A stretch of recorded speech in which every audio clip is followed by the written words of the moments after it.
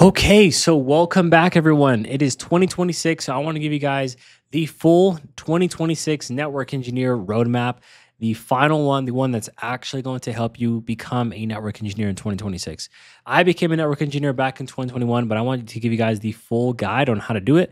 So let's go ahead. With that being said, let's go ahead and dive in and show you exactly how to go into this. So, the first thing you have to focus on is tunnel vision.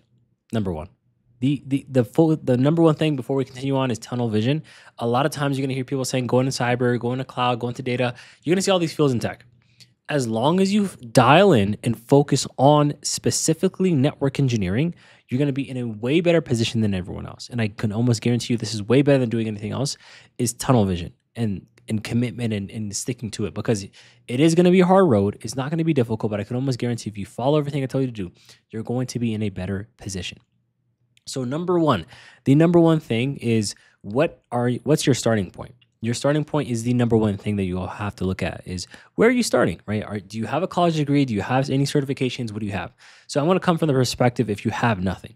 If you have absolutely nothing and you want to become a network engineer, the first thing you have to focus on is acquiring the skill sets that a network engineer does on the job.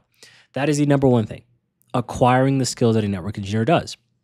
You may be wondering, Yo, Wali, how do I get those skills that a network engineer does on the job? Very, very simple. The only thing you need to focus on is talk to other network engineers. And you may be wondering, oh, I don't know who, I don't know any network engineers. Go on LinkedIn, reach out to network engineers and say hi. Is that hard to do? That's what I had to do. That's the easiest way to, to just meet people. It's uncomfortable. I've done it. I've reached out to people and I was able to even speak to a director of network engineering just from doing this. So anyone who tells you I can't, I don't know any network engineers is because you're not putting yourself out there. And that is one key area that you're missing out on that is going to be critical critical for you guys to be able to succeed to become a network engineer. So now diving into the projects, and I'm gonna I'm not gonna gatekeep. I'm gonna tell you what projects to work on and all that stuff. But in terms of obtaining the skill sets, the skill sets you need to focus on, the main skill sets are gonna be project skills. So building out a full fledged network that that has multiple things with firewalls, with access points, with with you know inter VLAN routing, with with routing with, between different autonomous systems using BGP, as well as you know OSPF routing within the same network. Those kind of things are really important for you to be build out all in inside of one network. And you may be wondering, oh, this is confusing. I don't know any of this stuff. There's a lot of free resources. Go online and watch those particular videos. You can watch some of the videos on my channel. You can watch other other channels, but I would focus on obtaining those skill sets of building out projects. Number two is good. I want you to focus on building and working on troubleshooting projects. Troubleshooting projects are the most impactful way to become a network engineer because troubleshooting is basically fixing something that is broken on the network. So the best way of doing this is find something that's broken, like have someone, you know, this is the best way I like to do it is have someone build out the network find a network engineer who can mess up and make some slight fig- configuration changes, and then go ahead and try to fix that network. That's troubleshooting right there. Very, very simple. But the whole point of that is to improve your troubleshooting skill sets. A lot of the times when, when I talk to people, when they say, oh, I, you know, I can't find a job, I ask them, have you troubleshooted before? They said, I've never have.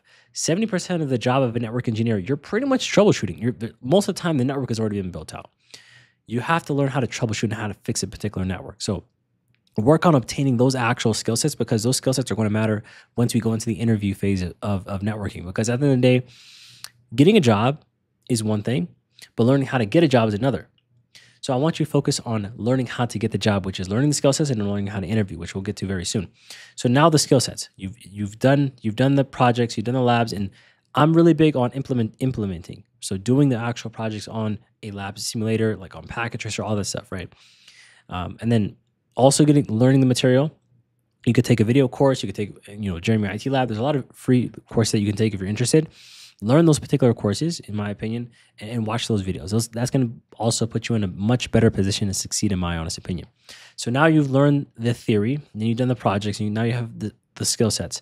Now that you have the skill sets, the next thing I would also focus on is just getting your CCNA out the way if you if you have time it's not necessary. You can become a network engineer without the CCNA 100%. I've helped multiple students become, have get CCNAs and, and, and some students without CCNAs get jobs. So you don't need a CCNA. Anyone who tells you you have to get a CCNA to become a network engineer is not true. Although I did have a CCNA, but I've helped other people who did not have CCNAs land jobs as a network engineer.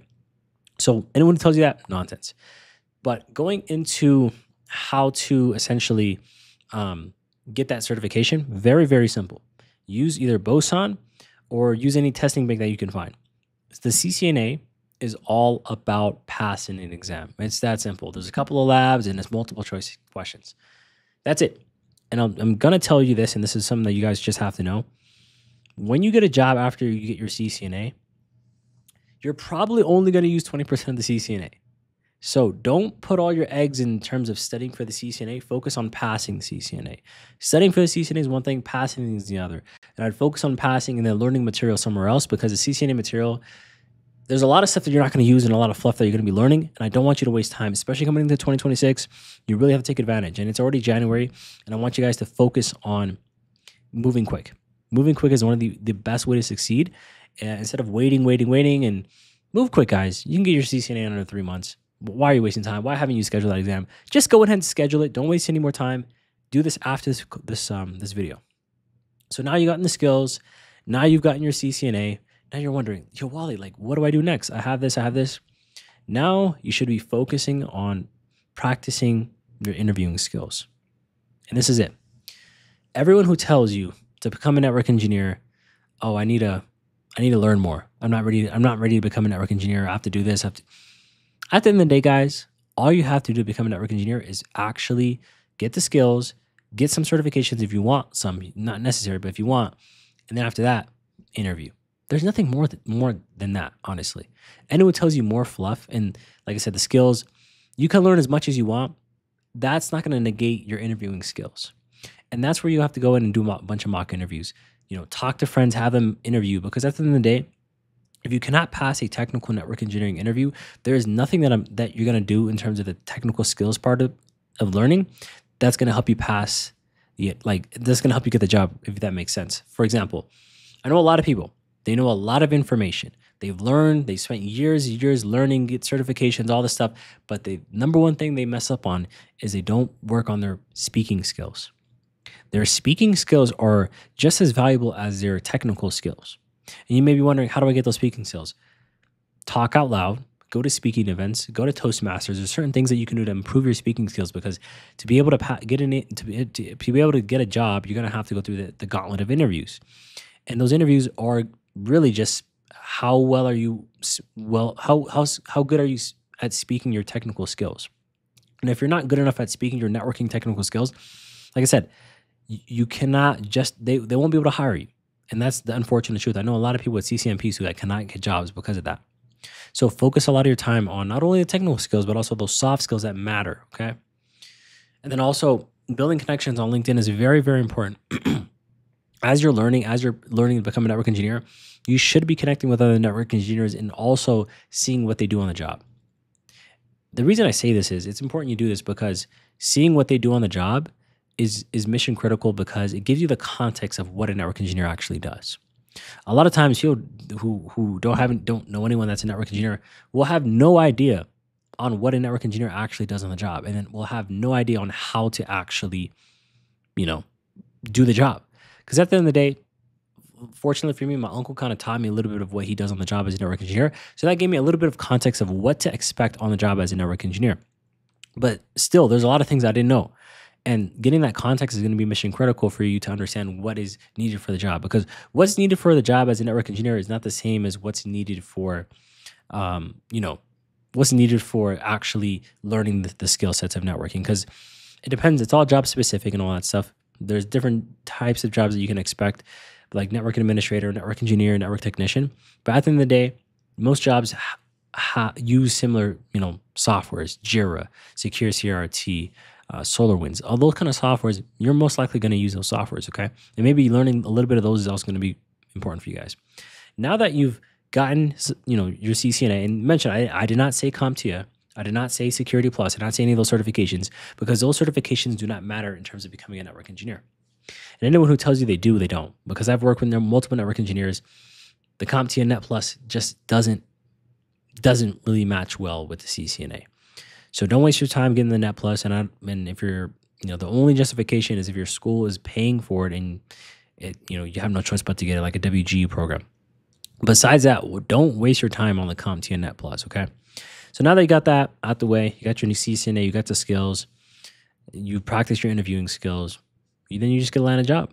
And that's the roadmap to, for 2026 on how to become a network engineer. There's nothing else more than that. If you focus on this exact roadmap, you're going to be in a way better position than 99% of the people.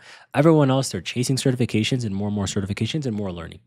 As opposed to you, if you follow this exact roadmap, you're focusing on the skill sets that matter. And you can, like I said, learn these skill sets, learn routing, learn you know, layer two, layer three, layer one networking, all that important stuff. Networking is not complicated, guys. Just learn what a network engineer does. You can go through my channel, you can watch some of my videos there. I pretty much explain exactly how to do it. And that's it. Don't waste your time on the details. Focus on the high level concepts, focus on how to do them and actually implement them on a real network. And once you do all that, and then you focus on your technical and soft skills and, and your technical speaking skills, you're golden, guys. You're absolutely golden. If you do that, you're going to be ahead of 99% of the people. But if you guys need more help on how to become a network engineer, or you just want to start your career in, in with mentorship and want more fast track, I do have uh, programs. So you can click the link in the description. It pretty much helps people kind of fast track into the field of network engineering. If that's something you're interested, go ahead and click the link below. If not, no worries. But if I want to say thank you guys so much for uh, you know subscribing to this video. If you got subscribed, if you did subscribe, let me know if you did. But uh, if you guys like the video, give it a thumbs up. If you guys want to watch more like this, feel free to subscribe and, and, continue on and hit the bell notification. And then also, if you do have any questions, go ahead and put down in the comment section below. I'll try to respond to your comments. Um, with that being said, everyone, I do appreciate you guys' time and hope you have a good rest of your day and peace.